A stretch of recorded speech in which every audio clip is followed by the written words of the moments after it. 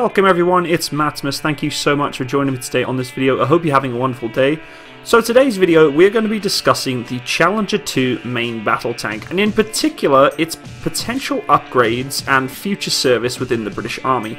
Now, this tank has a very close sentimental connection to myself. I've worked alongside it in my British Army career, and hands down, obviously, it is going to be my favourite main battle tank out there on the market. Um, this vehicle is highly impressive. If you don't know much about it, please feel free to check out some information um, in the links below. I've put some descriptions from both uh, defense websites and all sorts of different background information on this particular vehicle. And we're not really going to go over the overview of this vehicle today. We're actually going to talk about its future service and the kind of upgrades that this vehicle is looking into getting in the long term. Because this tank has been out for quite some time um, and some of its systems are starting to become highly outdated compared to some of the other modern, modern main battle tanks that are on the market today. So we're just going to discuss kind of the various different options that are available and the companies that are actually interested in helping up improve and upgrade this vehicle to modern day standards. So the Challenger 2, pretty much it's served very faithfully in the British Army for about 18 years now in both wars and conflicts around the world. But now the Challenger 2 battle tank is to have its lifespan extended to 2035 with a major technology upgrade. BAE Systems, which built the tank when it's still known as Vickers Defence Systems, has proposed adding new thermal imaging, targeting, and weapon control systems. It'll also be given a new high-tech electronics control and display system to bring the 68-ton main battle tank into the 21st century, the UK's Ministry of Defence chose to upgrade Challenger 2 after deciding it would be too expensive to purchase a new battle tank. Now, this is pretty, uh, you know, obvious, guys, to be honest. The Challenger 2 was a high investment. It's a, a tank that they wanted to last for quite some time. And the UK, inclusive of many other governments around the world, are looking to cut the pennies in terms of defence spending, which is unfortunately a sad fact, but it's what's going to happen. And this is how it's going nowadays. Upgrade packages are the way forward. The countries that have, you know, defense spending cut so tight that they can't afford to procure new weapon systems are going into now upgrading vehicles. And we've already seen this in some of my previous videos in the past. You know, simple little armor upgrades, new weapon systems, targeting systems that can be easily upgraded without having to design an completely new platform and vehicle, which can be quite difficult. I mean, you've got to think about the amount of design, uh, technology, you know, the manpower, the effort, the money that it takes to procure and design a new battle tank. And uh, upgrading a vehicle like this that is also very well known and well renowned in doing its job um, is going to be a lot simpler of an option for the British government. Now, Russia has recently unveiled its T-14 Armata main battle tank, which, let's be honest, is quite an impressive main battle tank. It's stepped aside from the world of, you know, four-man crew, uh, filling up the turret with troops, uh, got into a compartmentalized section of the tank and actually more better protection and so on and so forth. This, this video isn't really about that tank. I'm more focusing on the T-14 being more of a threat to the Challenger 2 and potentially the UK and the Ministry of Defence have decided to upgrade their tanks to keep up with this modern day threat because um, the T14 could potentially be a showstopper for the Challenger 2 if um, it came to it. I mean, we can't really say what's better than what's not. It, this is again not one of those videos, but the T14 on Armata is definitely a tank that is potentially to be reckoned with, and Challenger 2 needs to be able to keep up with that strategic threat. And it is a strategic threat, guys. I mean, um, Russia's flexing its muscles, the United States is flexing its muscles, everybody is, and it's kind of getting a little tense out there right now and uh, especially in terms of strategic warfare and conventional warfare, tanks are starting to come back into the limelight a little bit uh, in terms of being on the battlefield um, and its dominance on the battlefield. So with the T14 coming out, I think the MOD and the UK are kind of thinking, ah, we need to start going back to our roots and start trying to get these tanks upgraded and ready for potential potential engagement of tank on tank warfare. And it's interesting to see that uh, they're actually getting back into that plate because during my time in the British Army, they were stepping away from tanks. They really had very little interest in it because Afghanistan was our focus. We were focused on, you know, insurgent warfare, uh, trying to take on guerrilla combatants. It was just not a good time for tank uh, warfare at its time and practice and training and upgrades. So the T14 I think has definitely got the UK to kind of think about where they're going ahead with the next stage for Challenger 2's future. So the MOD is actually proposing um, bids for defence companies for about a 700 million pound upgrade. So that's a lot of money, guys. So they're obviously keen on getting this going. BAE Systems has proposed upgrading the tank's thermal imaging systems and giving it the ability to pick out targets during both day and night a lot more effectively. Now, the Challenger 2 already has these kind of systems, but they are quite dated, and I guess this upgrade is trying trying its best to address the problem of these systems probably aren't as clear and as the best clarity as some of the other modern day systems that are on tanks nowadays. And that really needs to be addressed, addressed because these tanks need to be able to be engaging targets at night and day without any obscurity to the gunner. He needs to be able to pick out targets correctly and focus good, and obviously the older system just isn't cutting the mustard. The commander's primary sight will integrate this thermal imaging system to give that 24 hour hunter killer capability. The gun control and fire control systems will also be upgraded to improve the accuracy of the weapons. The companies also want to completely overhaul the internal electronics and the control systems of all those electronics in the vehicle. It's said that it's hoped to propose a further capability enhancements to the Challenger 2 for the next 10 to 15 years. In 2006, the MOD fitted a single Challenger 2 tank with the new L55 120mm main gun for a trial and found it outperformed the current L30 Charm gun currently fitted, which we already know is the rifled gun instead of the smoothbore gun, and it comes with its own various, you know, problems, and we'll discuss them in a little second here. But although it has not been announced that the main gun will be changed as part of this upgrade, it is estimated that it will cost about £386 million to fit all operational Challenger 2 tanks with the new weapon system. Again, that's a lot of money and a massive upgrade. Now, the Challenger 2's gun is fundamentally handicapped by its use of two-piece ammunition, which makes it pretty much impossible to adopt new, longer armor-piercing darts putting a hard roof to lethality that is already assessed as problematic and will only get worse over time. In addition, while in the past the HESH round for the L30 added a flexibility that smoothbore tanks did not match, now the situation is fundamentally reversed.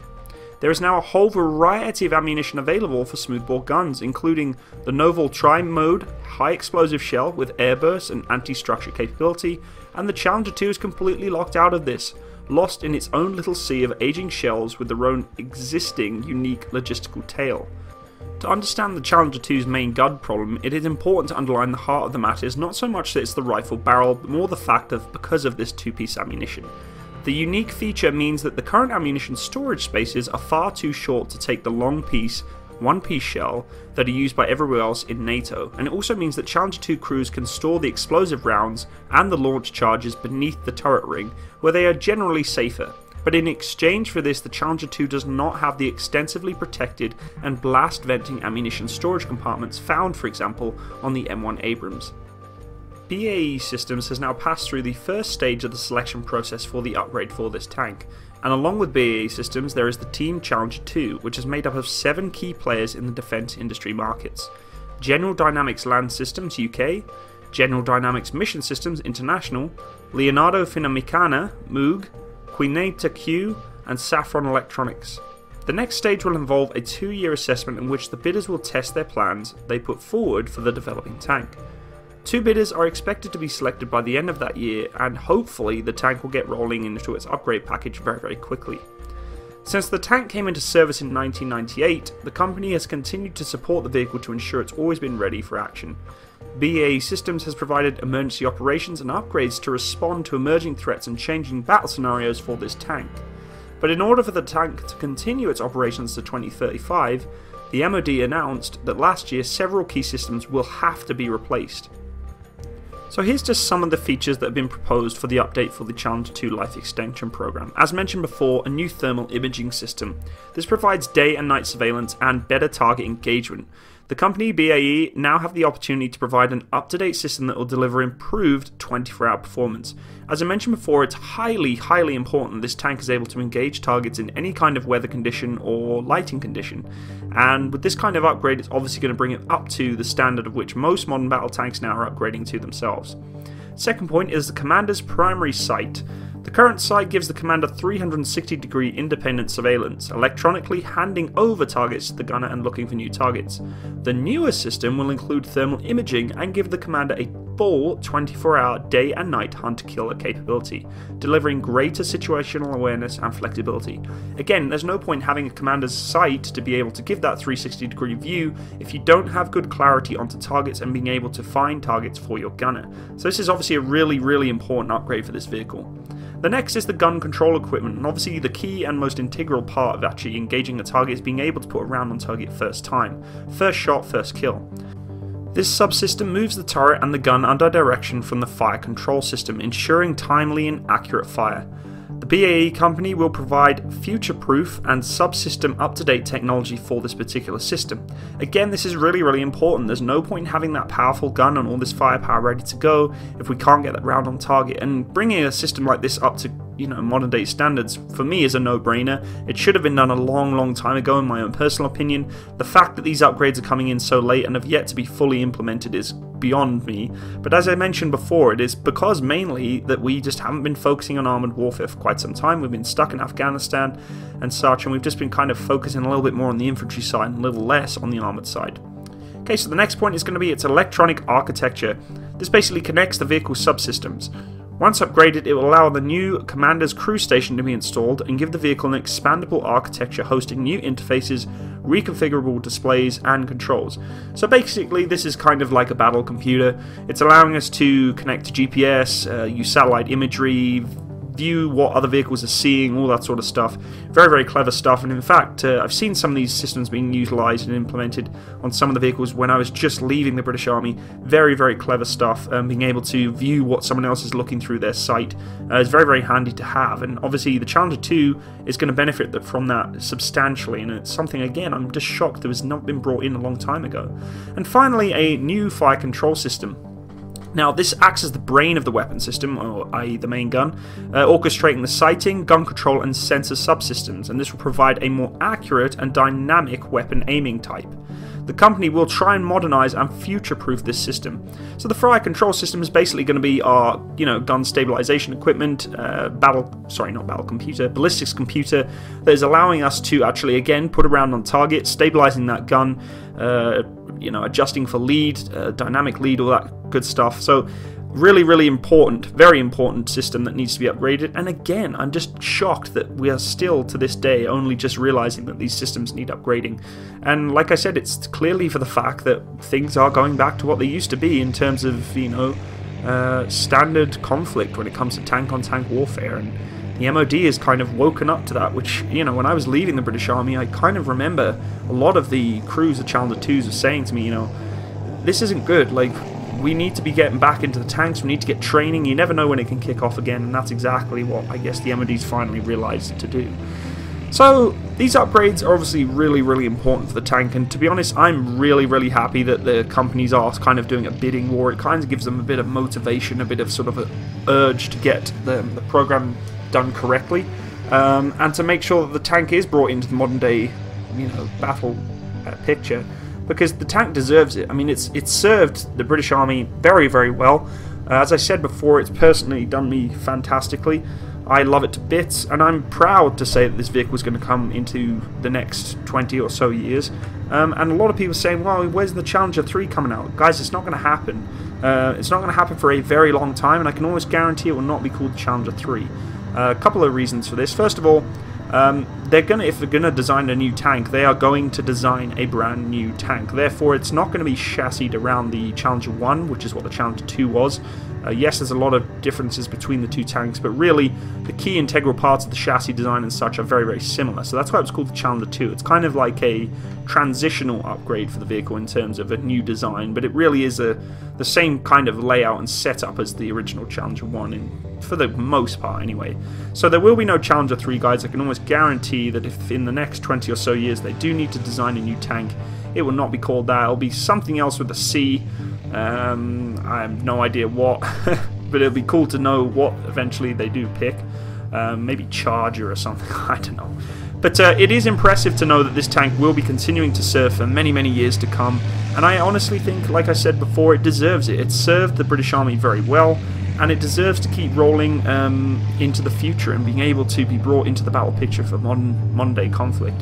Um, of course, I don't ever want to see Challenger 2s going into real combat and real conflict, but if push comes to shove, and we need to put rounds down range, then I want to make sure that my countrymen, my fellow soldier, are protected as best they can and being able to defend the country's inter interests and the military's interests as best as possible.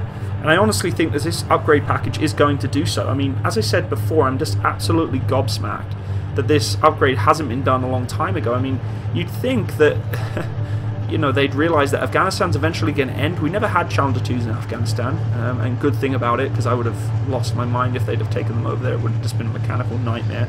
Um, but I honestly really do feel that, um, you know, th this tank is going to do very well for itself with this new upgrade. And it's going to, you know, maybe potentially even be extended further than 2035. You never know. I mean, there's tanks out there that are older than, than the Challenger 2 that are still rolling. I mean, look at some of my M60 videos that I've talked about with uh, certain upgrades. I mean, this tank's been going for a very long time, and uh, yeah, I just I'm really happy that this is going to be coming into play. Um, so it'll be interesting to see which exactly um, defense contractors actually going to take up this upgrade. I can almost guarantee it's going to be BAE combined with General Dynamics because you know they're the bread and butter of this tank. They know the ins and outs. They know exactly what's going with it. But you never know. Maybe there'll be a fastball contractor that will come in there and give them some better options for an upgrade package. But I can highly doubt that. Um, so yeah, that's kind of like the overview for this tank and its upgrade package coming in. If anyone else would like to leave some comments or what you feel about this particular tank or its upgrades, please, please, please leave them in the comments section below. I'd love to hear about your facts and opinions and all sorts of different input on this particular tank. Clearly this tank has a strong passion of mine and I love it to bits, so uh, I don't mind if you want to criticise it at all, feel free. I, I, understand it's not everybody's cup of tea. There's potentially people who have strong views and opinions on other tanks. Um, but again, this is purely a video just to kind of demonstrate the kind of upgrades that are out there, and it's not trying to depict the tank being better than anyone else's, so keep your hair on, ladies and gentlemen. It's just a video to tell you what's going on with this tank in the future. Anyway, guys, I really hope you enjoyed this video. I really do appreciate you watching. Please leave a like um, if you enjoyed it, and a comment. Just give me some input on what you thought, or, or just, you know, about the upgrade package itself. If you are new to my channel, please feel free to subscribe, hit that uh, like and subscribe button, and uh, I hope to see you in the near future. Thank you so much for watching, have a wonderful day, all the best, bye bye.